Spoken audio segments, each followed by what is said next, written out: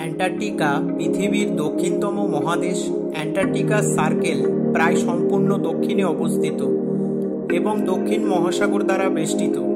এটিতে ভৌগোলিক দক্ষিণ মেরু রয়েছে। অ্যান্টার্কটিকা হল পঞ্চম বৃহত্তম মহাদেশ, অস্ট্রেলিয়ার প্রায় দ্বিগুণ আয়তন। অ্যান্টার্কটিকার আয়তন এক কোটি বিয়াল্লিশ লক্ষ বর্গ কিলোমিটার। অ্যান্টার্কটিকার বেশিরভাগই অংশ বরফ দ্বারা আবৃত। যার গড় পুরুত্ব এক দশমিক নয় কিলোমিটার। আজকের এই পর্বে আমরা জানব অ্যান্টার্কটিকা মহাদেশ সম্পর্কে।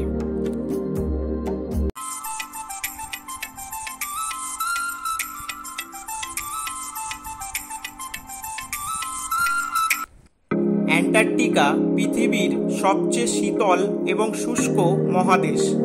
অ্যান্টার্কটিকা মহাদেশের কোনো স্থায়ী অধিবাসী নেই।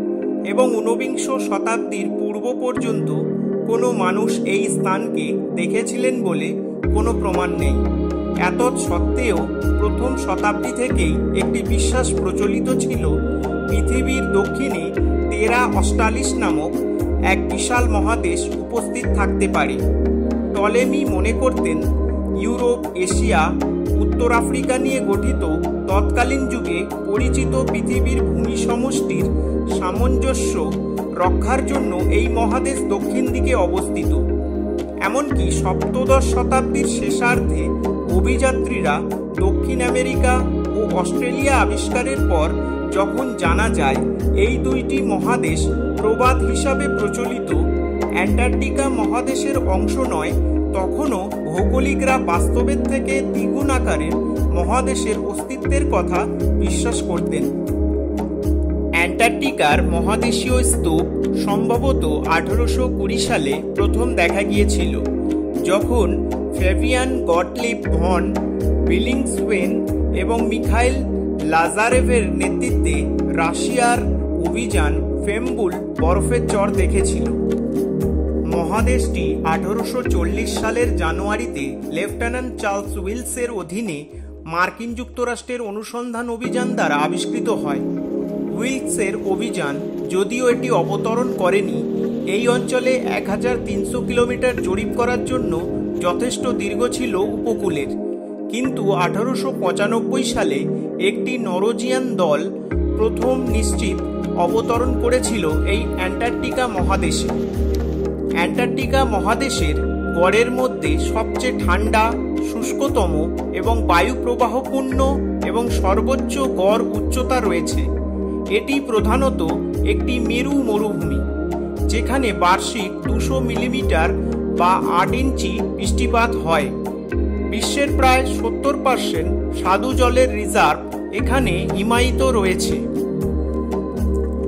অ্যান্টার্কটিকা, পৃথিবীর সর্বনিম্ন মাপা তাপমাত্রার রেকর্ড, মাইনাস উননব্বই দশমিক দুই ডিগ্রি সেলসিয়াস। এই প্রতিকূল আবহাওয়ায় প্রাণীদের স্থানীয় প্রজাতির মধ্যে রয়েছে মাইট, নেমাটোড, পেঙ্গুইন, সিল এবং টার্ডিগ্রেড গাছপালার মধ্যে উল্লেখযোগ্য তুন্দ্রা। উনিশশো উনষাট সালে বারোটি দেশের মধ্যে অ্যান্টার্কটিকা চুক্তি স্বাক্ষরিত হয়। যাতে বর্তমানে ছেচল্লিশটি দেশ স্বাক্ষর করেছে। এই চুক্তির মাধ্যমে অ্যান্টার্কটিকায় সামরিক কর্মকাণ্ড এবং খনিজ সম্পদ খনন নিষিদ্ধ। বৈজ্ঞানিক গবেষণাকে সহায়তা এবং মহাদেশটির ইকোজোন সুরক্ষিত করা হয়েছে এই চুক্তির মাধ্যমে।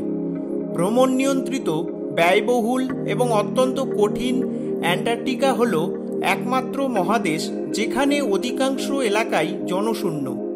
বিভিন্ন দেশের হাজার থেকে পাঁচ হাজার বিজ্ঞানী অ্যান্টার্কটিকার বিভিন্ন বিষয়ে গবেষণায় নিয়োজিত রয়েছেন। গ্রীষ্মের মাসগুলিতে পাঁচ হাজার লোক গবেষণা স্টেশনগুলিতে বসবাস করে, যা শীতকালে প্রায় এক হাজারে নেমে আসে।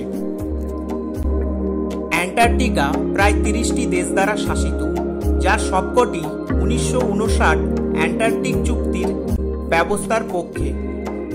অ্যান্টার্কটিকার মাঝ বরাবর ট্রান্স অ্যান্টার্কটিক পর্বতশ্রেণী এই মহাদেশকে পূর্ব এবং পশ্চিম অংশে ভাগ করেছে। পশ্চিম দিকের তুলনায় পূর্ব দিকের শীতের প্রকোপ অনেক বেশি।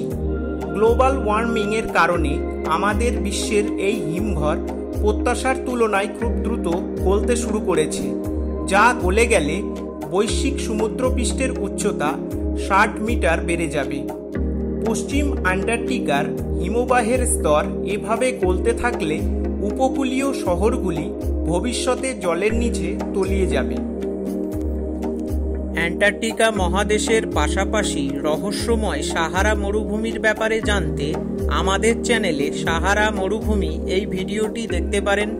ভিডিওটি ভালো লাগলে লাইক এবং শেয়ার অবশ্যই করবেন। চ্যানেলে নতুন হলে চ্যানেলটি সাবস্ক্রাইব করে আমাদের সঙ্গে থাকুন ধন্যবাদ।